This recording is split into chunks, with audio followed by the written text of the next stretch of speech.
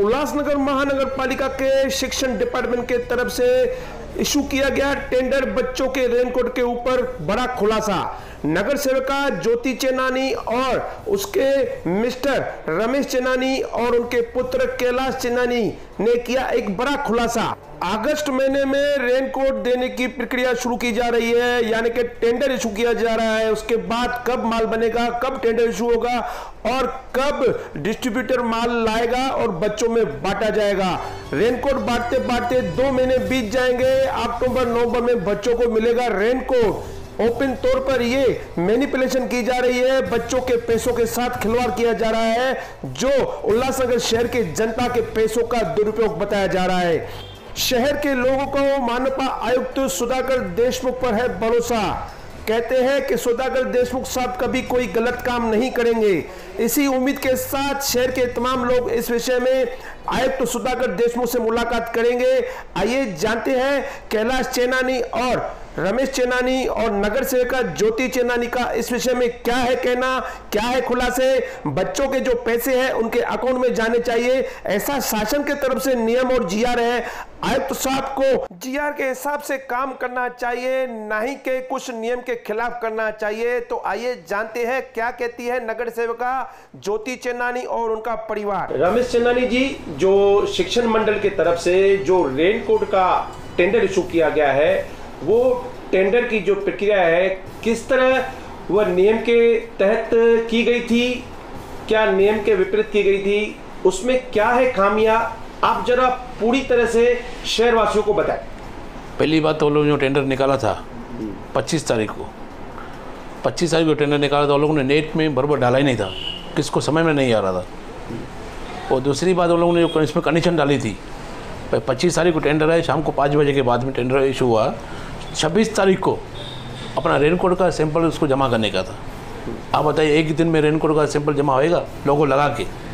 सेनानी जी, आप ये बताइए कि जो महानगर पालिका के तरफ़ से शिक्षण मंडल का जो बच्चों के लिए रेनकोट का टेंडर इशू किया गया था 25 तारीख के दिन, वह टेंडर की जो प्रक्रिया थी, उसमें तकनीक रूप से वह ओके थी, क्या उसमें कुछ खामियाँ थी सर, पहले तो मैं कैलाश सैनानी, मेरी मम्मी कॉर्पोरेटर ज्योति रमेश सैनानी, उन्होंने लेटर दिया था, उसके बारे में मैं आपको बताना चाहता हूँ। ये जो आपने पूछा 25 तारीख को जो टेंडर महानगर पालिका ने इशू किया था, उसमें वो टेंडर में क्या खामियाँ थी, मैं आपको वो बताना चाहता हूँ। पहले तो उसमें जो नेट पे उन्होंने दिखाया, उसमें कुछ नेम नहीं था, कुछ भी नहीं, बस यूएमसी टेंडर स्कूल बोर्ड लिखा हुआ था।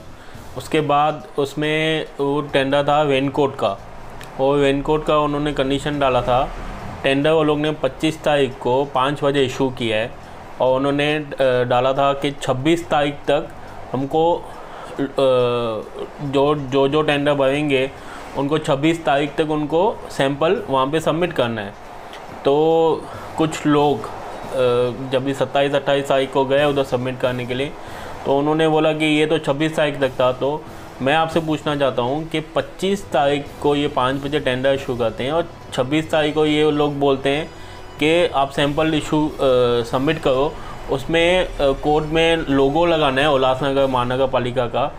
एक दिन में लोगो कैसे लगेगा और कैसे ये रेनकोट सबमिट करेंगे?